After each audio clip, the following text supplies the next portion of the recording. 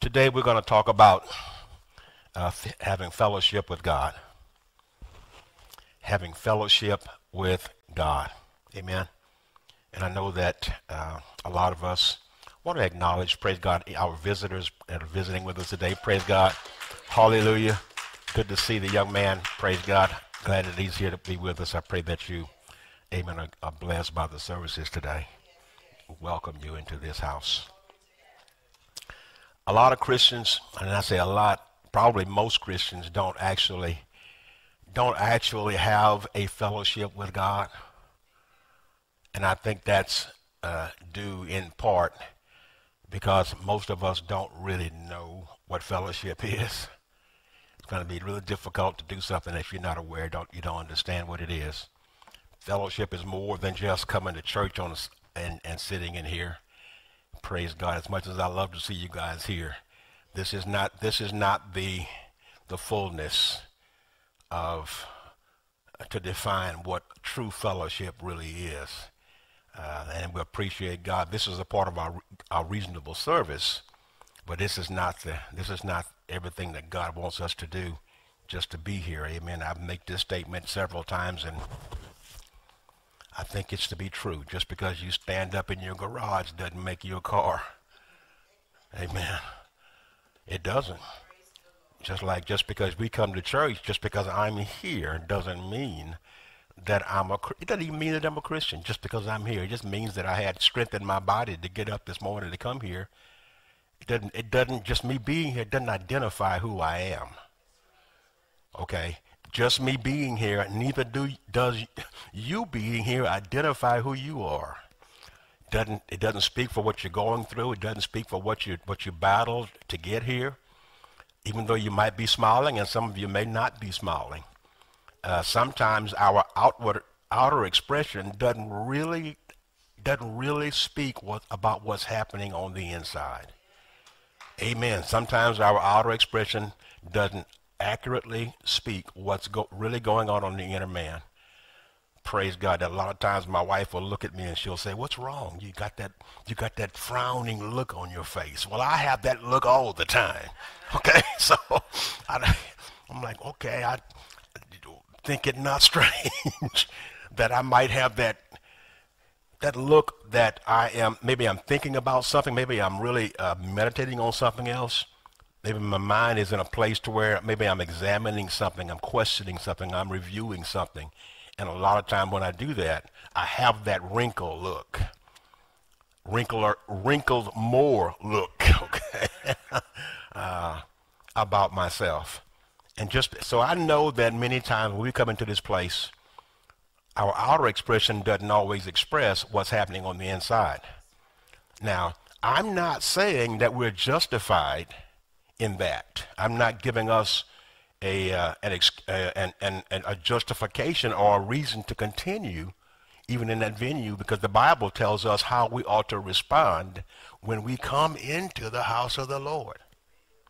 Okay? The Bible says to enter into his gates with thanksgiving. Is that what it says? It says enter into his courts with praise. So if I enter into his his his house and I'm, I'm expressing anything other than thanksgiving and anything other than praise, then I'm not I'm not doing it like God told me to do it. Can I just be straight up and be honest with you guys? If I enter, if I do it any way that's outside of what God has already told me, even though my heart may be broken on the inside, I may be bleeding on the inside. I may be uh, as discouraged as and, and battling, uh, wanting to, to give up or to quit or to do or to just do something different on the inside.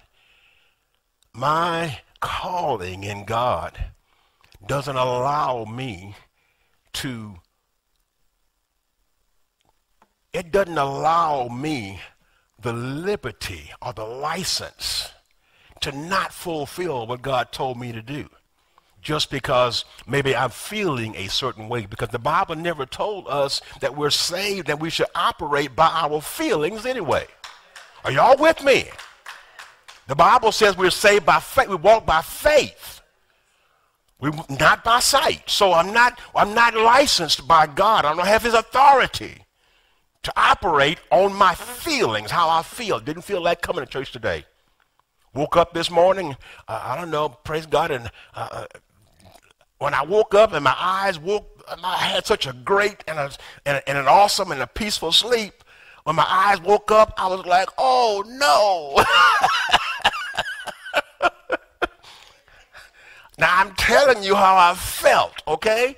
But I'm not justified in operating in feelings. But a lot of folks do it. A lot of folks do it. And I understand that many times people operate in feelings, and that is because they have never really had a true fellowship with God. Just, can I just be straight up and honest with you? Many people operate in feelings because they have never really had, or they're not walking in. Uh, they don't know the power, they don't know the benefit, they don't know the, the, the, the greatness of the rewards that God has for those who walk in fellowship with him. So we, we, we, we, we, we define fellowship as uh, just having, be, having a friendship or having a, a, a comrade.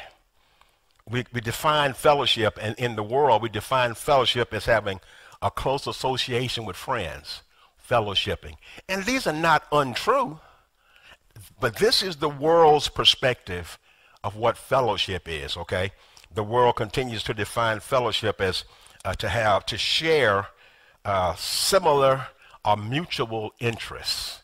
And we think about, you can think about fraternities and sororities. You can think about the different groups, the military vet- veterans uh, who fought in wars and military vets. You think about all these different, when I was in college, there was a group called the Fellowship of Christian Athletes just a bunch of Christians who didn't want to do what the other guys were doing after the game. Christians who didn't mind going to the center of the field and bowing down and praying after the game. The fellowship, uh, and it was because we shared similar interests. Okay, and that's and that's not a bad definition, but that's not truly the definition that God that God has given us when it comes to fellowship. So I you guys know I, I dug into the original Greek, and I found that the word fellowship means to, from God's perspective, it means to bind. Uh, it means to connect. It means to be joined together. Whenever you bind something, you take, you guys, you guys know how to operate with, with super glue or glue, right? You take two pieces that have been separated, torn or even a, gla- a mug or something where you drop the glass, you drop the mug, and the, the handle broke off of it. So you get some glue, uh, they call it fastener, okay? And you take that fastener and you attach it to the to the, the, the mug itself, and you also put a little few drops on the handle. And when you at- when you attach them, you hold them there for a while. And if that fastener is working like it should, then it will connect those two pieces that had been separated. So when God is speaking about having fellowship, he's talking about reconciling man back unto himself. He's talking about connecting man. He's talking about joining man back into the same uh, condition, into the same uh, uh, uh, uh, position that he had. Do you not realize in the, in the, when God created Adam in the garden, Adam was given authority over everything in the earth? When God created Adam, he gave him authority over everything in the earth, over all the creeping things. The dinosaurs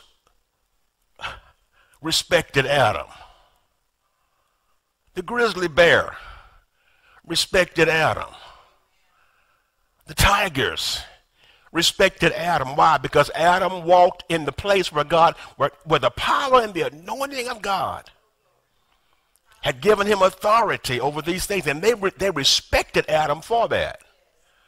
And God is saying, I want you to have fellowship with me, not, not for all the other reasons that people in the world define fellowship, but I want you I want you to have fellowship with me so that we can reconnect. So that I can bring you back to that place where Adam once was. Are y'all with me today? Hallelujah. Another part of that definition in the in the Greek, and I was hesitant about saying this because I don't want your minds to go to go to, to any place and stay there too long. Uh, I'm talking about places in the flesh. But one of the words, and I looked at when you look at it in original Greek, one of the words that it uses to define fellowship is intercourse. You heard it? Now move on past it, okay? intercourse. Uh, it means to know. To know. And when I began looking into this, just y'all know me, I'm, I'm just like a little mole. I'm, I'm just going to keep digging, digging, digging because I love knowledge. I like knowing. I don't like. It's one of the things that I hated. I've always hated all my life. You ask me a question and I don't know. I don't know. Everything is I don't know. I don't, what do you know? Praise God. So I, I, I, will, I love knowledge, man. I'll dig. And I began looking at, there were a couple of scriptures the Lord brought to my remembrance when he, as he refers to uh, the definition about fellowship concerning to know. And in Genesis chapter 4 and verse number 1, the Bible says Adam knew Eve, his wife. It didn't mean that he like I know you, Sister Gertrude. Didn't mean it like that. Somebody asked you, do you know Brother Darius? Yeah, I know Brother Darius. But when it says Adam knew Eve, his wife, it meant that they had had intercourse. You read the scripture. And Adam knew Eve, his wife, and she conceived and bare Cain. Okay? Now, the Bible even speaks about with we know that Jesus was born of the Virgin, right? Mary. And that we believe the, the account that has been given unto us that Mary had never had relationship with a man prior to, uh, to Joseph.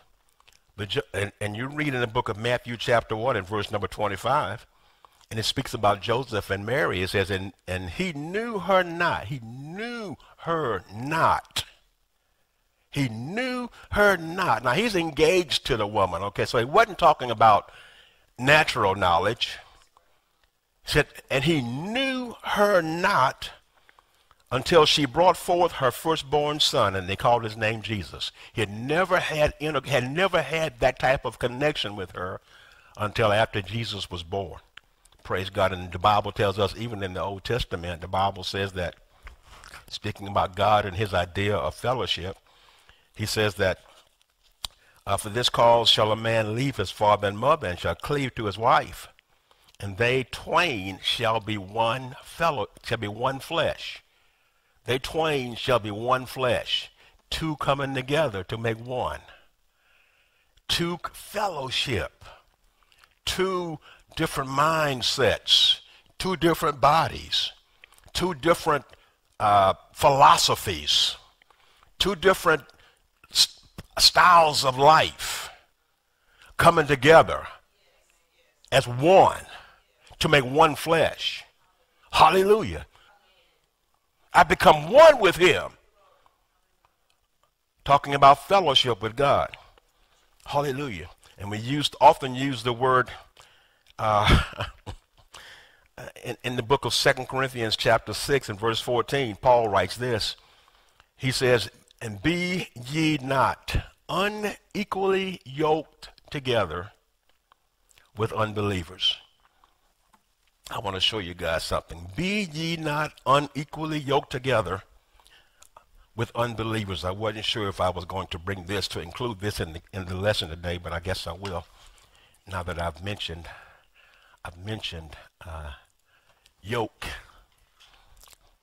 Be ye not unequally yoked together with unbelievers.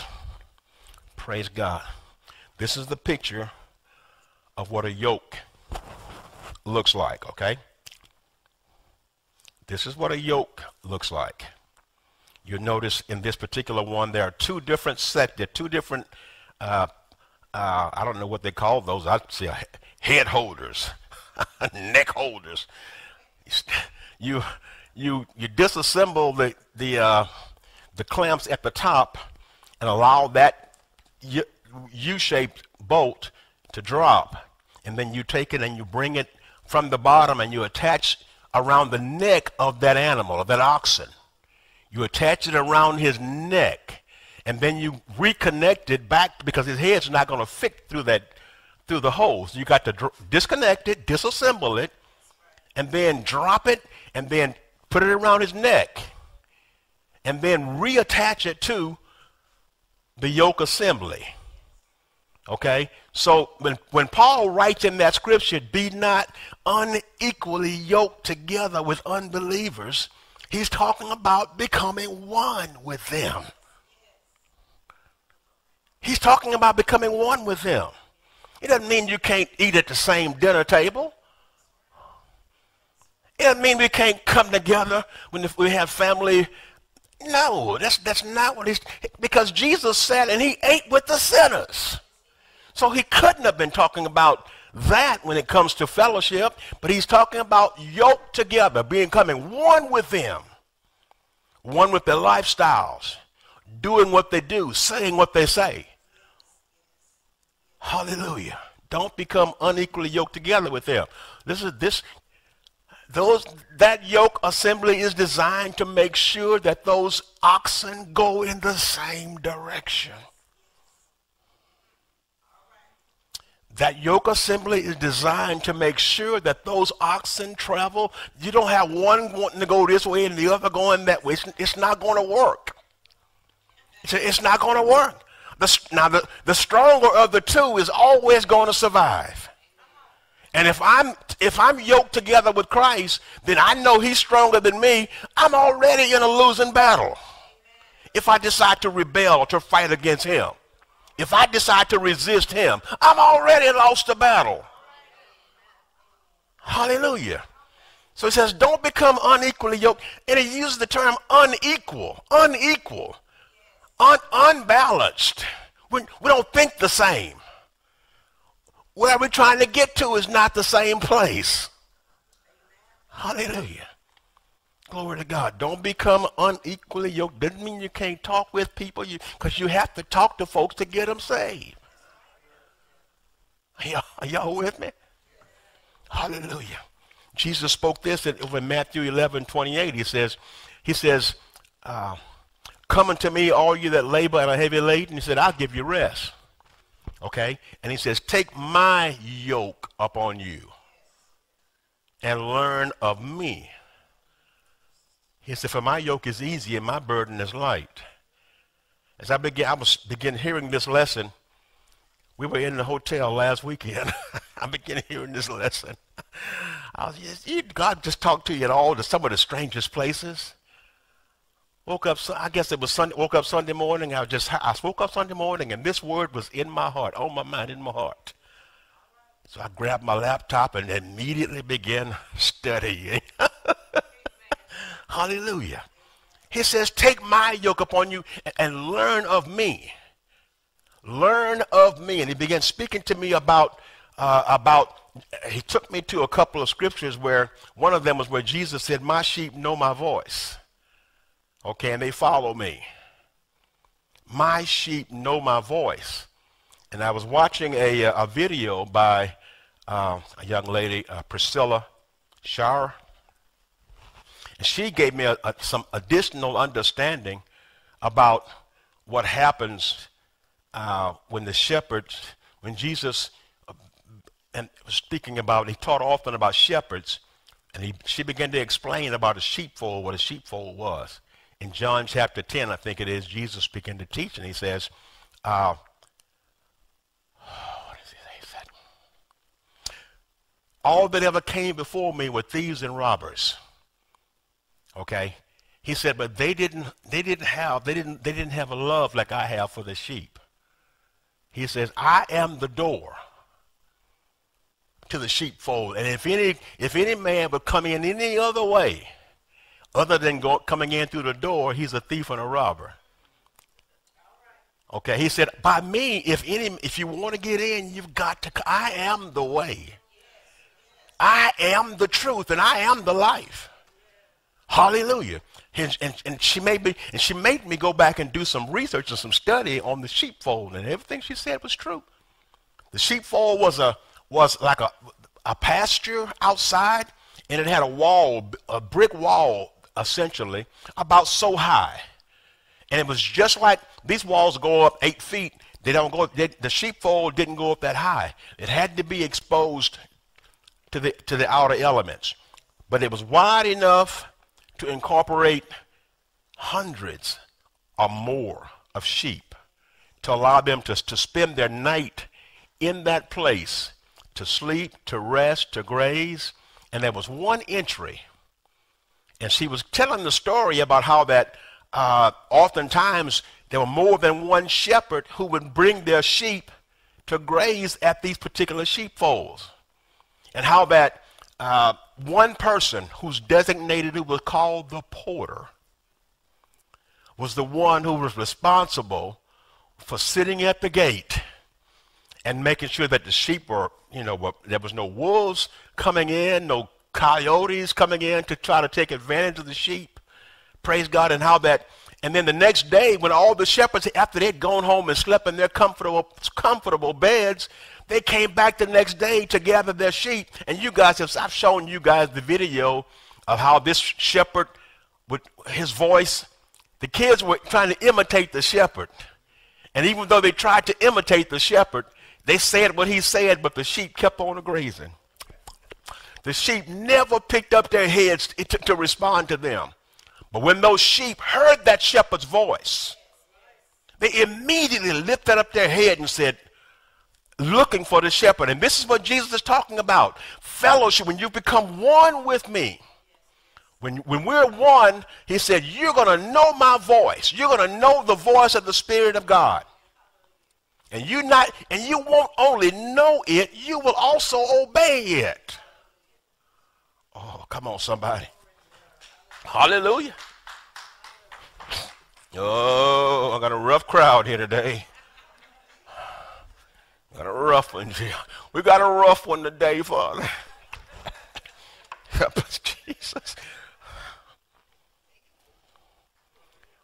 The fellowship that God requires, the fellowship with God requires a loss to yourself. It requires. It's, it's not a request.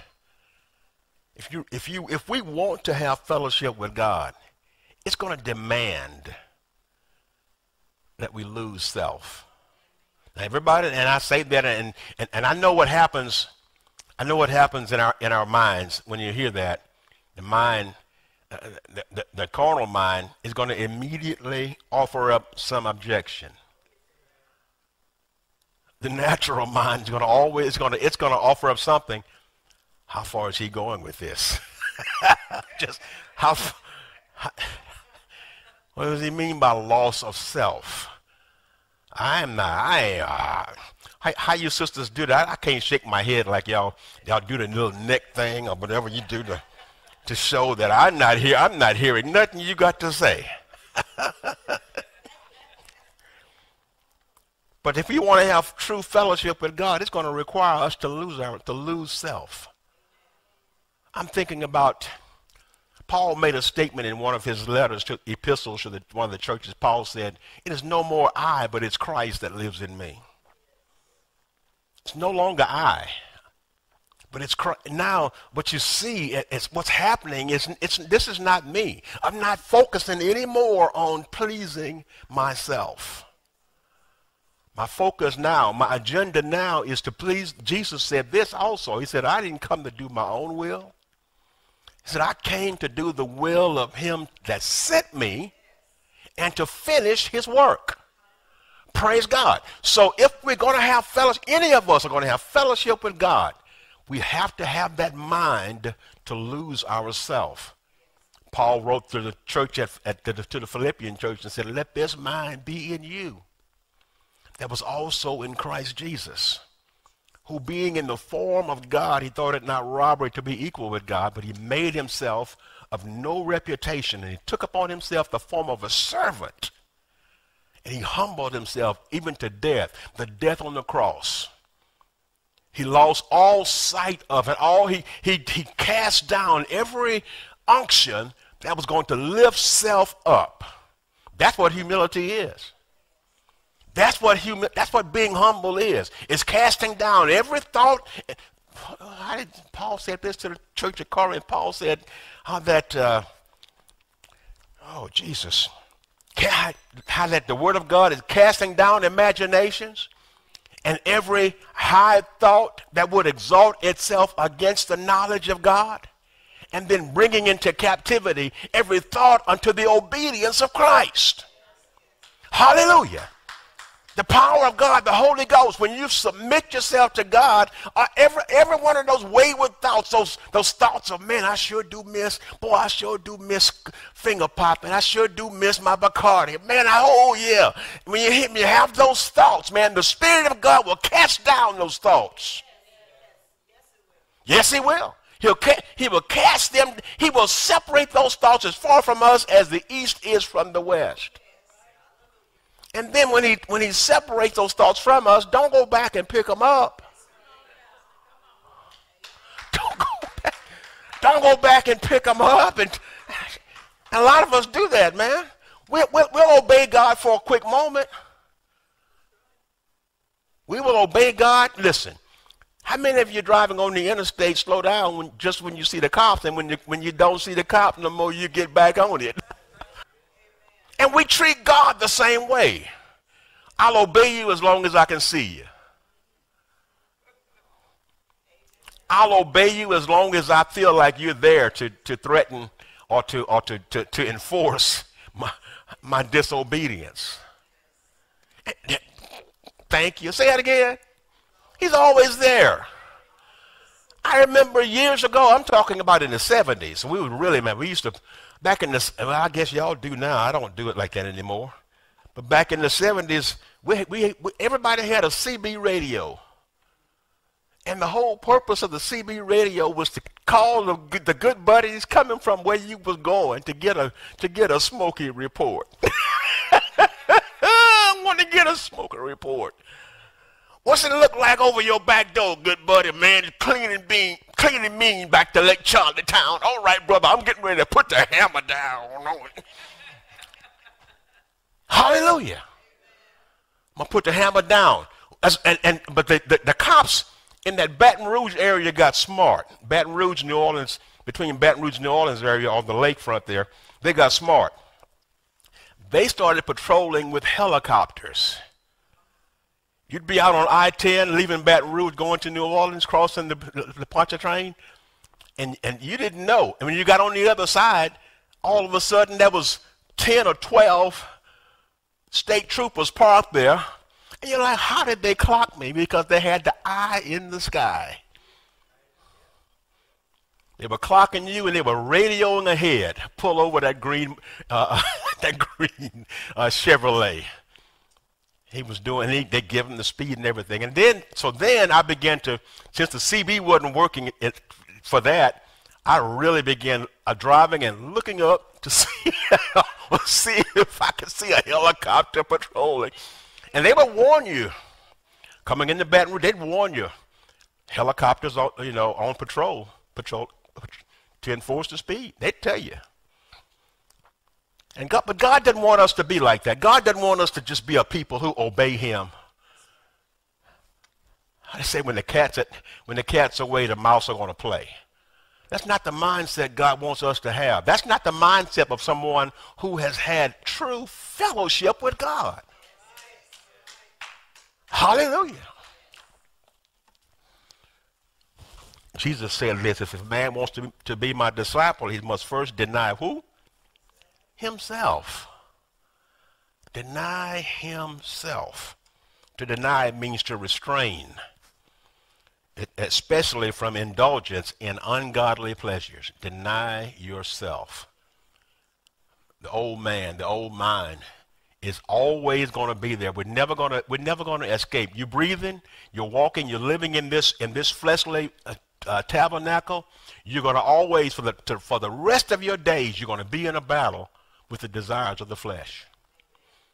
Okay, uh, you get saved, you get filled with the Holy Ghost. The, the difference is you get filled with the Holy Ghost. You, now you have the power to overcome those desires. It doesn't say getting filled with the Holy Ghost doesn't say that you're never going to be tempted. It's just that now I have power over this temptation.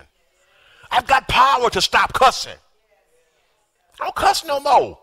Don't care how angry or upset I might get in a situation. Cuss words are not, go- not going to come out of my mouth because they're no longer in me. I've been delivered from that. Hallelujah. I've got power over that. Praise God. Doesn't mean I'm not going to be tempted. Doesn't mean that when somebody cut me off in traffic, the thought comes, boy, don't you? No. I'm a new creature. Doesn't mean I'm not going to be tempted. Just means that with the temptation, he's given me a way to escape. Oh, yes, he is. Come on, somebody. With the temptation, I now have a way to escape and I'll be able to bear it. And I won't get caught in that trap. And then had got to feel condemned after the fact. Whoo, Lordy. Jesus. Philippians chapter 3. Y'all turn there with me if you don't mind. Philippians chapter 3. Self always stands in the way of our relationship with God. That's, that's, that's what he does. It wants only what someone can do for it and never wants it, never what it can do for anyone else. What's in it for me? Did y'all ever hear that before? What's in it for me? I'll give my life to you, Jesus, but what's in it for me? Suffering. I'll give my life to you, Jesus, but what's in it for me? Hardness. I give my life to you, Jesus, but what's in it for me? And, and you, and, but and, and, but and, and you, you hit, uh, the, the, the hardness and the suffering and all these things look bigger than the eternal life that you're going to receive. The sufferings and the, the hardness looks bigger. They speak louder than you're receiving a, a crown of righteousness. Hallelujah. The hardness and the suffering speak louder, it seems like, than uh, the peace and the joy that we, that we have uh, in having fellowship with Him. Amen. Did you want a Bible, brother? Did you want a? Oh, okay, good. Praise God. Thank you. Amen. Philippians chapter 3, verse number 7 says this. And Paul is testifying, man. He's testifying about uh, the, the, his life, his fellowship, his commune with the Father, and, and what, he, what he came to understand that he, he needed to do in order to, to maintain that relationship. He said, But what things were gained to me, the things that were important to me, the things that I thought that were valuable. He said, I, Those I counted loss for Christ. I used to think trying to be hip and cool. I used to think that was the thing. Man, that, those days of vanity are gone. And somebody gonna say that's because you're too old. No, they got old fools out there trying to, still trying to be cool. You, you got you got you got some folks, some fools older than me, still out there trying to be a little like a little sugar daddy or something. I'm telling you the truth. So, so age is not the thing that cancels out the desire to do sinful things. De- being delivered by the power of God is the thing that delivers us from the desire to want to do evil things. You'll never get too old to sin. You don't never get too old to lust. Hallelujah. Glory to God. But Paul said, he said, the things that were gained to me, I wanted, I loved recognition. I loved having my, I love being the man. I am, this, is, I am the man. I, I, pray, I lived in a time in my life I loved being the man. Praise God. But you got to give up wanting to be the man if you want to be a disciple of Christ. Hallelujah. You have to take all of that these things that bring vanity, the things that bring ego, the things that bring pride, you got to put them on the bench. You don't want you don't want these things in the game. Come on, somebody. You got to put those things on the bench. Hallelujah. And this is what Jesus is saying. This is what Paul is saying here. Everything that I had about myself that made me feel like Mr. Big Stuff. I put, I took that, I, I did it. I put it on, I, I counted it as loss for Christ. Y'all hearing me? He says, Yea, doubtless, and I count all things but loss for the excellency. And, and I'm, I'm not just exchanging what I had or who I, who I thought I was for nothing in return, but i have got something that's, that, that's reciprocating. Something's coming back to me because I've given these things up. There is something, there is a reward for me giving these things up. He says, I've counted these things uh, but loss, but now I'm attaining unto the excellency of the knowledge of Christ. Hallelujah. A lot of you are not growing because you're not, you're still carrying dead self around. Dead baggage. Dead baggage. A lot, of, a lot of you are not growing, praise God, because you're still carrying self around with you everywhere you go. Every time you pray, you can't even pray because self is sitting there telling you what to, telling you how long to pray, what to say. Don't you want to get up? Aren't your knees hurting? Didn't you pray this yesterday? self, self is not going to leave you just because you're praying. He's going to be there to interject his own will. We and I know, I know that, you know, sometimes it's short notice, and I understand that. And this is not about anybody. And I know we have other things, and people have jobs and stuff like that. But we're having prayer on Saturday afternoons periodically. And it's not a fixed thing. But as I really, as I really hear from God, you need to bring the people together. And He's told me you need to get them together because I want a fellowship with them. And many of us are too, we're just too self-centered to come together for prayer for one hour. We're too self-centered. And, I know, and I'm not talking about anybody in particular. Because I know, especially if you have events, Sean had to work yesterday, had to cut five yards. and they cut, praise God. But some of us are too self-centered. But yet we say we want fellowship. Now something is not lining up. Something is not lining up. How can you say you want God, but when God says, I'm over here, come get me, and you say, I ain't got time? How, how, how's that working? I'm too busy doing this. Paul said, I counted everything but loss for the excellency of the knowledge of Christ. Praise God. We, we, we, you don't, you don't, ha- you haven't counted everything but loss for the excellency of Christ, and you won't go home and study this lesson after church is over. You have not. Uh, uh, there was a sacrifice getting up. Please. It was a blessing to get up. Are y'all hearing me?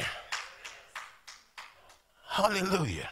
The Lord spoke something to me on yesterday. He said, he said, don't be, don't be congratulating yourself just because you've done the will of the Lord. He said, because all you've done was your reasonable service. I said, yes, sir, Lord. Thank you, Jesus. You don't, you don't, you don't get no pat on the back for doing what Jesus said. I didn't come, I didn't come here for that. He said, I came, he said, I'm just, I came here to do His will. Hallelujah. You have not counted it loss for the excellency of the knowledge of Christ if you're not willing to. And I got a note here. Let me finish reading this that Paul said before I get to that. He says, then he says, For whom I've suffered the loss of all things. When you have really come into fellowship with Christ, you're going to have similar situations to happen in your life. People are going to leave you. A lot of the friends who were doing the dirt with you, because you're not doing the dirt anymore, they're not going to want to hang around with you. You don't even have to ask them to leave. They leave because they, they themselves don't, be, don't want to be unequally yoked together with you. they don't. He says, for whom I've lost, for, for, whom I've suffered the loss of all things and do count them but dung. What is dung? He said, I counted it all, but poo poo. It, it, it, it smells, it stinks to me now. Are y'all hearing me? Sinful lifestyle ought to stink to you. If sinful lifestyles don't stink to you, then you don't know God. Got to say it again. If a sinful lifestyle, I didn't say I didn't say you had overcome it. I didn't say you had had mastered uh, how to to walk in victory over it, but at least it ought to stink to you. At the very least, people cussing ought to bother you. At the very least. Why? Because it's not, it's not, that's not an example of the righteousness of Jesus Christ. Hallelujah. People, people that call, and I, I'm going to say that, I'm not going to talk down about them, but there are Christians who think nothing at all about watching rated R movies and TV shows. That's just, that stuff, at the very least, some of these things ought to just disgust you. Why? Because of the Spirit of God that's pure and holy on the inside of you. Are y'all hearing me? Having fellowship with God brings you to that place. And when, you, when, you, when you've had the fellowship with God and when you compare it to the fellowship you had in the world and the thing the world does, what they're doing, in all honesty, doesn't even compare. Now, this is, this is my testimony, okay? What the world is doing, it doesn't even compare. Hallelujah. Because my mind has been changed. My mind has been changed. Ooh, Lordy. He says, and to be found, he said, for whom I have suffered the loss of all things, and I do count them but dung, that I may win Christ. That I may win Christ. And to be found in him. Man, where you been? Man, I've been in Jesus. Man, I ain't seen you at I ain't seen you at the at the at the at the at the at the dewdrop inn. I hadn't seen you at the dewdrop in a while. No, you ain't gonna see me. Because you know why? Because I'm in Christ now. Come on, somebody. I ain't seen you, man. You used to used to come by the tree and man, oh, man, I ain't got time for the tree. I ain't got time. I ain't got time for the tree. I'm in Christ now. My mind is, my heart's, my, my, I'm, my mind, I'm thinking about different things now. I don't think like I used to think. He said, and being found in him, not having my own righteousness, which is of the law. And that's something totally different right there. I had made notes about it, but that's not what I want to cover today. He says, which is of the law, but that which is through, through the faith of Christ, the righteousness which is of God by faith. This is what I wanted to get to. Paul's talking about fellowship, okay? He says, that I may know him. That I may know him. I've kind of I've given up all this stuff because I want to become one with Christ. Hallelujah. Go back and ask your, your old worldly partners, man. Uh, I, I, I'm, I'm thinking about giving my life to God, man. But I want to. I just wanted to do a little check before I left you. I want to check. Say, what, what you got that's good for me? Ask some of your old worldly relationships. What you got to offer me to stay out here in the world? Ask them. Ask any of them. Come back and ask them. Hey, you know, man, yeah, man, we had, didn't we have fun, you know, two months ago? Didn't we have fun at the Christmas party? Didn't we have fun? But what you got to offer me other than uh, uh, uh, getting drunk and DUI or something from, from, from being at the, at the Christmas party. Come on, man. What you got to offer me, dude? You, you, you don't want to come to Christ with me. You got, you got objections to our lifestyles. I'm trying, to, I'm trying to walk in the straight right now. Okay? I'm trying to walk in the straight. But you keep coming over here bringing things that's going to take me from the straight. You keep coming over here offering me things that are going to take me away from Jesus Christ. You keep coming over here, now you're disrupting the time when I ought to be praying, when I ought to be studying. And you want to now you want to go riding around town. What, what, what are we riding around town for? Don't you ride with me to church? Ask them that. Hey, won't you, you want to ride? Why don't you ride with me to church Sunday morning? Ooh. He said that I might know him and the power of his resurrection. Hallelujah. The power of his resurrection. How many of us really know and are walking in the power of the resurrection of Jesus Christ? You're not going to know the power unless you spend time with him. You won't. There's a, you know, nowadays when you, if you want to, uh, say you got online banking or whatever, I got an account with Fidelity Investments. If I want to access my account with Fidelity Investments, I, have accessed that online so much that I know my username and my password by heart. I don't need no little notes to remind me. I, have accessed it. If I want to check my account at Chase, I know I've been there often enough that when I want to go and look and see or transact any kind of business, I don't need to pull up, you know, my little pull out my little cheat sheet. No, because I go there often enough. And God is wanting to know, He's wanting us to know that if you will come here often enough, if you would just if you will come and familiarize yourself with me, there are things that are going to feel almost automatic. You wonder why things don't feel automatic to you? It's because you're not going there often enough. Every time you go, at once every two weeks you go, I got to go back and pull out my little cheat sheet and say, "Oh, what's what's my password?" And then and they didn't. If you don't go, if you don't go after a certain period of time, they they cancel your access, and then you got to go back and reset your password and start all over again. I, I, I'm not going to be like that with my father.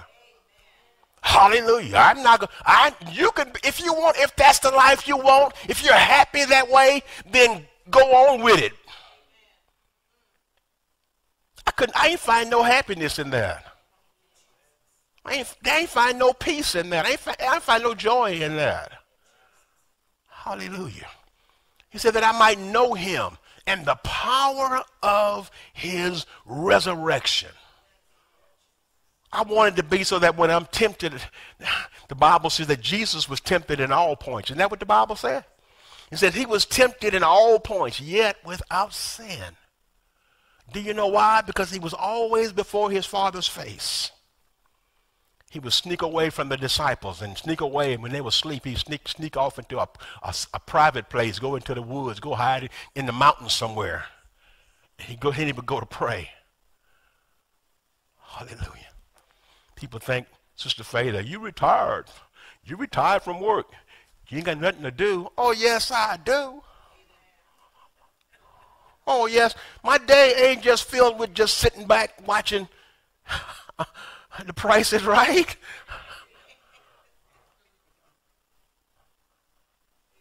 So, Dorothy, I've got to pray.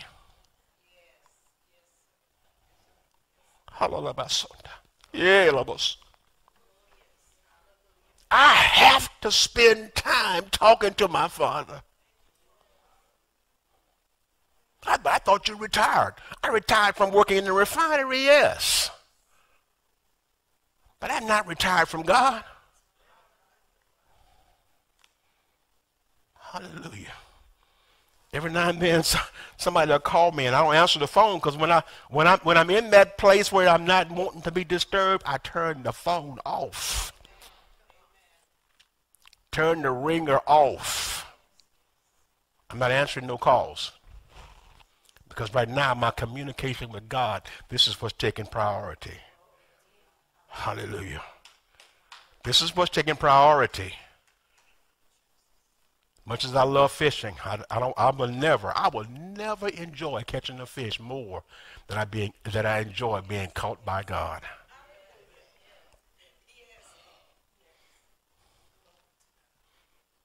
I will never enjoy catching a fish more than I enjoy being caught by God. Hallelujah. Praise God. He said that I might know him and the power of his resurrection and the fellowship of his sufferings. There's that word fellowship, becoming one, becoming one with the sufferings of Christ. Mentioned this in last Wednesday night's lesson. When it comes time when God's when God brings us, we all we're all right. Just lead me to the rock, Lord, that's higher than I. Lead me, lead me, Lord, lead me, Lord. And when when, it, when you then when you bring you to that place where that wilderness is there, and you're going to be tempted, it's like, oh no, Lord, be it far, be it far from me. Hallelujah. Be it far from me, Lord. Oh no. Hallelujah not realizing that we also are going to, you, listen, this is the place where you grow. This is the, ooh, Jesus. No, no, no, no, no, no. See, y'all got, see, y'all, see how y'all do me? I'm going to have to show you something. I got to show you. It's, it's in Deuteronomy, I think it is, but I'm going to find it. Ha, ha, ha, ha, ha. Oh, Jesus. Mm-hmm. Come on, come on, somebody, give the Lord a hand clap if you would, while I'm uh, uh, while I'm finding this uh, this uh, scripture. Praise God, praise God. Deuteronomy chapter eight. Deuteronomy chapter eight, and I want to begin reading at verse number one. Praise God. See, a lot of y'all are, are neglecting the benefit of the fellowship just because you got to go through a little something.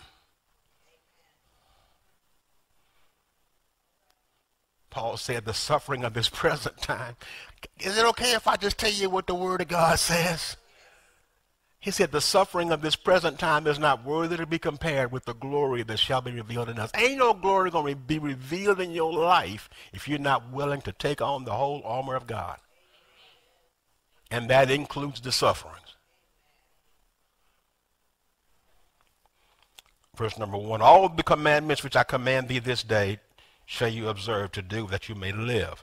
I'm giving these commandments to you not to put you in bondage, not to make you mad, but I'm giving you these commandments so that you might live and multiply and go in and possess the land which the Lord sware to your fathers. He says, and thou shalt remember, don't forget the lesson that I'm trying to teach you. And thou shalt remember all the way which the Lord thy God led thee these 40 years in the wilderness his purpose for bringing you where he brought you was to humble thee and to prove thee, to know what was in thine heart, whether thou wouldest keep his commandments or no. Y'all understand what he's saying there? Anybody, and I know y'all probably didn't, but I've known some folks who, who have, who do and who have, they raise pit bulldogs. They raise them to, to breed and to sell to make money. Praise God. And they, they, ain't, they ain't trying to sell no dog that won't fight. Are y'all hearing me? If the word to get around, man, don't buy another Ken dog. Man, Ken dog won't fight. Ken dog will run when they see when they see another dog. I'm out of business. I'm out of business. And God, God said, I brought you this way to prove you. I want to see if you, how, how, are you going to stand up when you face adversity or are you going to turn tail and run? I brought you this way to humble you, to show you that. How did Peter say this? I think it's in Peter. He said, Humble yourself before the Lord, and he will exalt you in due time. Because God resisteth the proud, but gives grace unto the humble. Okay? He said, I brought you this way to humble you. I brought you this way to show you that I am greater than anything that you ever gonna or anyone that you ever gonna know. I'm the biggest and the baddest and I'm the best.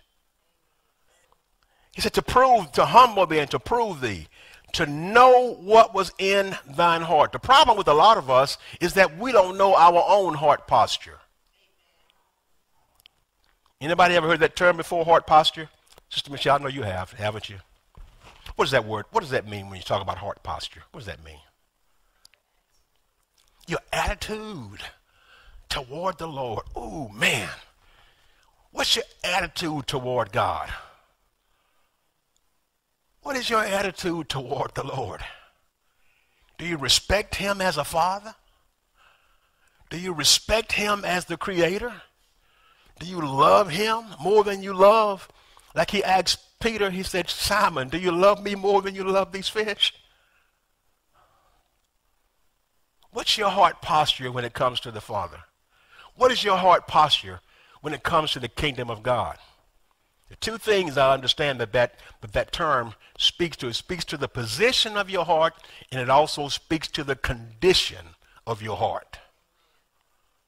It speaks about where you are, but it also speaks about the health, the healthiness of that position. And a lot of folks are, a lot of folks are not in a healthy place. Their heart posture is, is not, a healthy, uh, not a healthy place for them. I want my heart to be in a healthy place, man. Are y'all hearing me today? He said, I, wanted to, I, want to prove, I want you to know what was in your heart, whether thou wouldest keep his commandments or no. He, I, I brought you through, God I brought you through all these situations to accomplish this. I want to prove the integrity of my power in you. Are y'all hearing me? So I'm going to allow you to, I'm going to allow you to go, go through a few things. But don't be, dis, don't be dismayed and don't, don't be afraid because I'm going to be with you all the way through it. This is, this is the thing that gives me comfort. This is the thing that gives me comfort knowing that no matter what I go through, God is with me. Hallelujah. No matter what I have to endure, God is with me. Praise God. Somebody say, order my steps, Lord. Just ask him, say, order my steps, Lord. It may not be what you wanted. It may not look like what you asked for, but God will always give you what you need. I was in prayer a couple of days ago. I was in prayer a couple of days ago and I heard somewhere in my in my remembrance I heard I saw some things that I had done long even long before I even left Lake Charles and I felt so bad about those things that I had done. And I began to cry and pray and say, God help me, Lord Jesus. I know you forgiven. I believe you forgiven me, but just, just even the remembrance of some of the things that I've done and some of the things that I did, it just it has made me so feel so like how could I how could I ever have done these things even after I had come to know you? Even after I had come to know you, I knew you, knew your power. And I find myself still in a place where I did things that I knew were wrong. Praise God.